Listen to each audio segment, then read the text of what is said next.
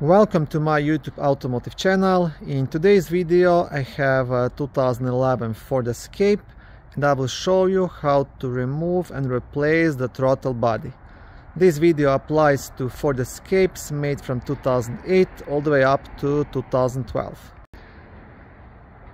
These Escapes came powered with either 3.0 liter V6 engine or a small four-cylinder engine. Now the throttle body is the same, part number is the same, just the location will be a bit different.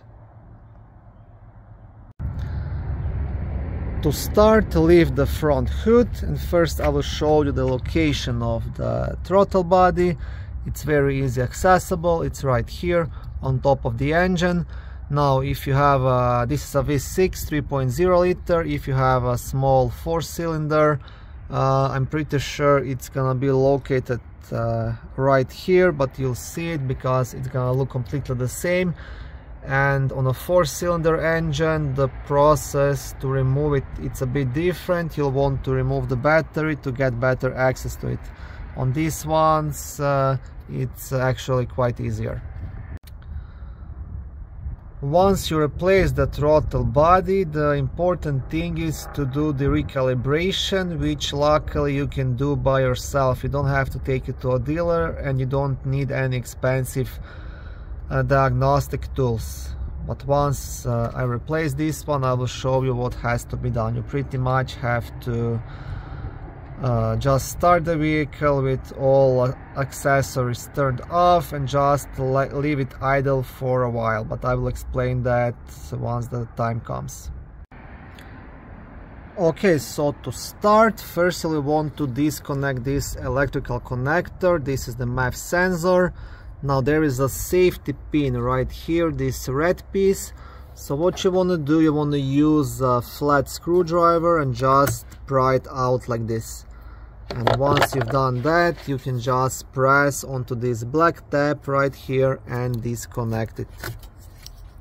Just like that. Once disconnected, you will also want to remove this small tab from this piece, this wire, because you have to remove this complete assembly so just want to pull this out. You see this was inside this hole right here. And now you can place this place this wire somewhere on the side so it's not on the way.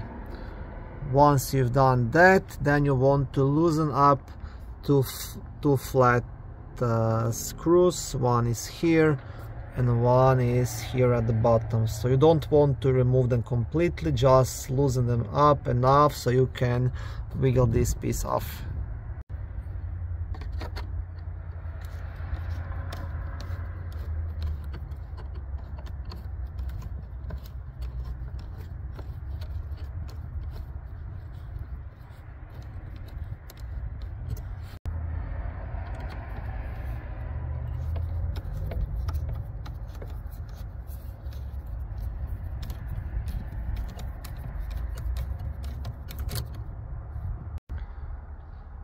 now before you start pulling this piece off the throttle body there is still one more hose that you have to disconnect. It's just down here. I'll try to record it. There's like a small tab you want to press here. It's just back here. There's a small tab you actually want to push. I hope you can see it here. See? You want to press this tab to the left. Just press it and then wiggle this hose off. Okay just like that. And now this piece is ready to be removed.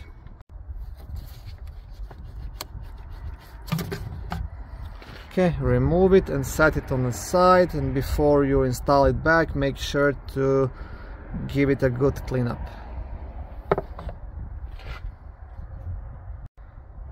next thing to do would be to remove the electrical connector from the throttle body. So same thing you will have a small red uh, safety safety clip here. So you can use your flat screwdriver or something similar just to pry it out. And once you've uh, pried it again there is a black connector uh, black tab which you want to press and disconnect this wire okay let me zoom it in a bit. So I want to pull this red safety tab out and just press here and pull out. And pretty much the last thing to do is to remove four 8 millimeter screws.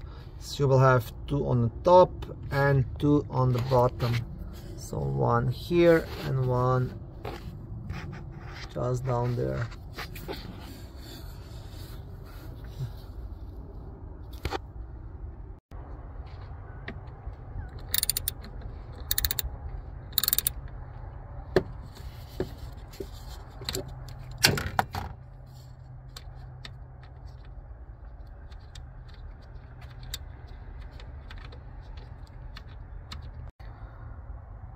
Once you have removed all the screws, the throttle body will just separate and you can completely remove it. Now, um, before installing the new throttle body, you'll definitely want to also replace uh, this small gasket. I mean, the price is only like four or five dollars for it, and it's always a good idea just to place a new gasket so there is no any kind of leaks here. So once you're installing the new throttle body you just do everything uh, vice versa and once everything is back in place and connected you will uh, start your vehicle and uh, leave it running for a while. It is also a good idea just to clean all these connections uh, just use a bit of uh, electrical contact cleaner to clean this connector this one here this and you can also clean the MAF sensor with the MAF cleaner as well because this is pretty much all, all connected. If your MAF sensor is uh, not working properly your uh, throttle body will not uh, work uh, as it's supposed to either. And then you might experience symptoms like uh, bad acceleration um, rough idle uh, transmission issues even and things like that. So leave it idle for as long as possible. I'm gonna say leave it maybe for one hour or so. This is the best way for Ford to relearn the throttle body. Now it's gonna start actually relearning once the operating temperature gets here to the middle and then then like I said just just leave it for a while and uh, after that what you want to do you want to take it for a longer test drive drive it uh, for a while on a highway then take it to the city take it to the traffic lights uh, drive it as much as you can and then the shifting patterns should also relearn and that should hope hopefully fix your problem now also one important thing before you start this relearn process always make sure to reset the memory and any codes from the PCM so if you had your check engine light on or if a small wrench key was on here you want to reset it before you you start this process. And that's that's pretty much it. It's quite easy to replace it and, and you don't have to take it to a dealer and spend a bunch of money now one more thing I will mention. There is bunch of aftermarket parts on the market. So that means you can buy uh, throttle body for under a hundred bucks but I wouldn't recommend that. Try to go with the OEM parts with this. It's quite sensitive. Um, if you don't then maybe go with a more reputable company something like a Dorman it's it's uh, less expensive than the OEM parts and still works pretty good but don't go with some kind of cheap Amazon parts because that will cause just uh, more headaches and problems for you.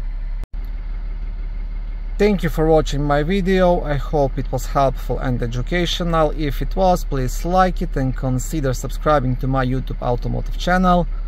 On my channel there is lots of how-to videos, do-it-yourself videos, car reviews, product reviews and other similar automotive topics.